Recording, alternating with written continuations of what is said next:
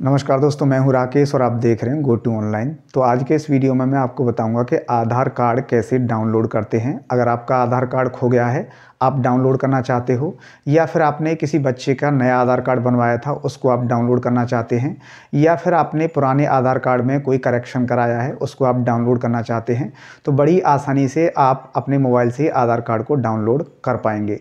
आधार card को download कैसे करना है, उससे पहले मेरी आपसे रिक्वेस्ट है। अगर आप हमारे चैनल पर पहली बार आए हो तो वीडियो के नीचे आपको लाल रंग में सब्सक्राइब बटन दिख रहा होगा।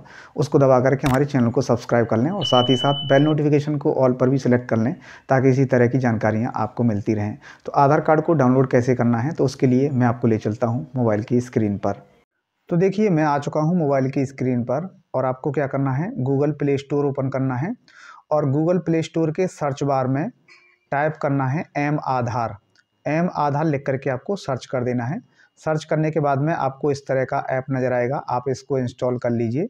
तो मैं पहले से इंस्टॉल किए हुए हूँ। मैं इसको कर लेता हूँ ओपन।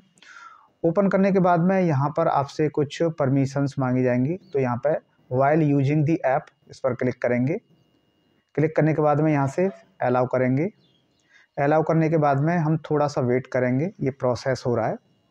थोड़ी देर वेट करने के बाद में आपके सामने इस तरह का पेज ओपन हो जाएगा और नीचे लिखा हुआ है स्किप। तो यहाँ से आप इसको स्किप कर दीजिए। स्किप करने के बाद में इस तरह का पेज आपके सामने ओपन हो जाएगा। आप चाहो तो इसको पढ़ सकते हो। नहीं तो नीचे एक बटन दिया है, आई कंसेंट। आपको आई कंसेंट पर क्लिक कर देना है। क्लिक करने के बाद में यहाँ पर इंग्लिश लैंग्वेज आ चुकी है। यहाँ से कर देना आपको कंटिन्यू। कंटिन्यू करने के बाद में आपको यहाँ पर मोबाइल नंबर देना है। मोबाइल नंबर एंटर करने के बाद में आपको नेक्स्ट कर देना है। तो मैं मोबाइल नंबर डाल के नेक्स्ट कर देता हूँ। इसके बाद में आपके मोबाइल पर एक ओटीपी आएगा और ओटीपी डाल के आप सबमिट कर दीजिए। ओटीपी हमारा आ चुका है।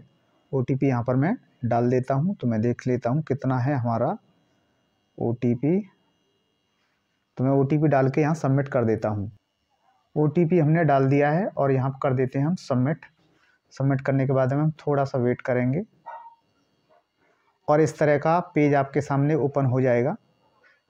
ठीक है? अब यहाँ पर बहुत सारे ऑप्शन हैं। तो यहाँ पर देखिए, लिखा हुआ है डाउनलोड ठीक है? तो यहाँ पर आपको डाउनलोड पर क्लिक कर देना है।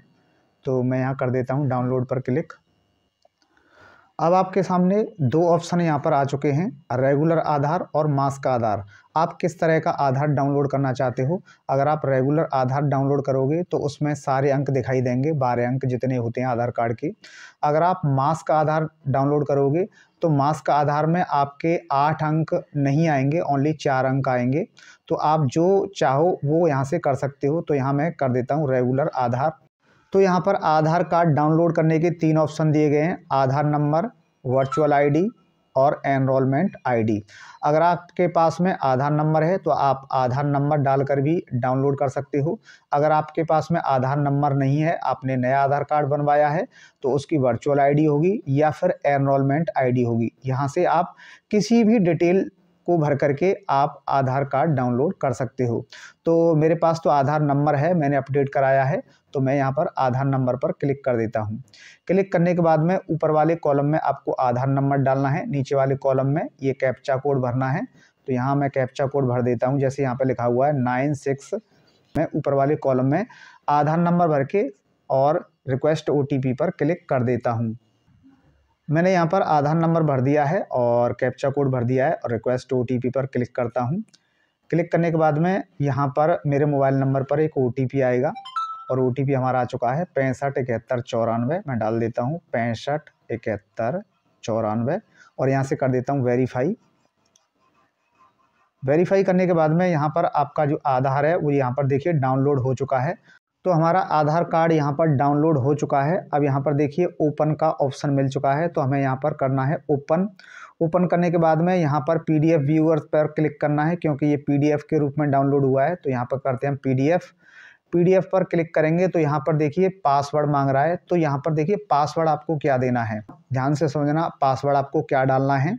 तो आपका जो भी नाम है, जैसे मेरा नाम राकेश कुमार है तो आपको क्या करना है, अपने नाम के पहले चार अक्षर डालने हैं बड़ी ए बी सी डी में, यानी कैपिटल लेटर में। तो मैं यहाँ पर डालता हूँ जैसे आर ए के ई ठीक है, चार अक्षर डालने हैं।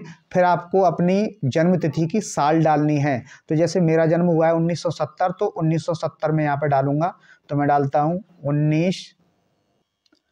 तो नाम के चार अंक और साल डालने के बाद में यहाँ पर ओके कर देना है। ओके करते ही यहाँ पर देखिए आपका आधार कार्ड ओपन हो चुका है।